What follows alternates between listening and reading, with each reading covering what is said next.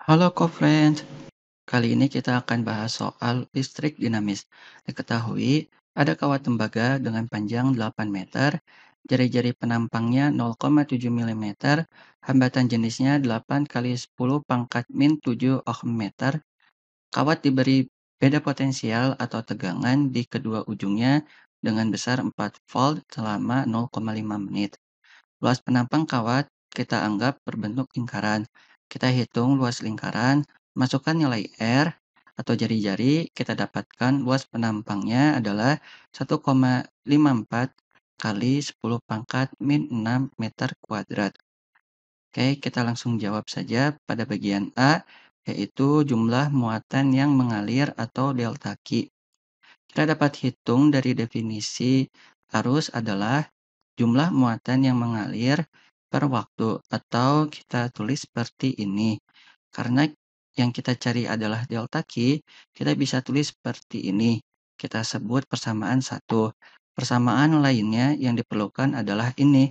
Yang paling kiri adalah hubungan tegangan arus dan hambatan. Dan yang sebelah kanan adalah persamaan untuk menghitung hambatan jika diketahui hambatan jenis dan ukuran fisiknya, seperti panjang dan luas penampang. Untuk mencari arus listrik atau I, kedua persamaan ini dapat dibentuk seperti ini. Kita sebut persamaan 2. Masukkan persamaan 2 ke 1 sehingga kita peroleh seperti ini. Dari persamaan ini, kita bisa langsung mendapatkan jumlah muatan yang mengalir dari yang diketahui di soal.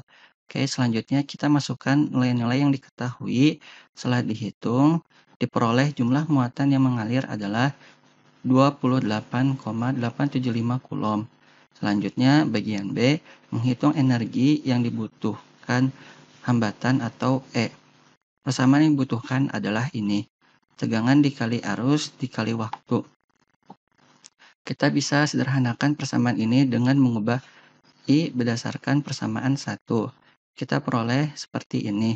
Kita bisa hilangkan delta T Persamaan akhir yang kita gunakan adalah ini.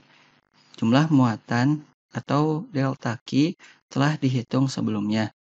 Masukkan nilai-nilai yang diketahui. Setelah dihitung, diperoleh energi yang diperlukan hambatan adalah 115,5 Joule. Oke, kita telah menjawab semuanya. Sampai jumpa di soal berikutnya.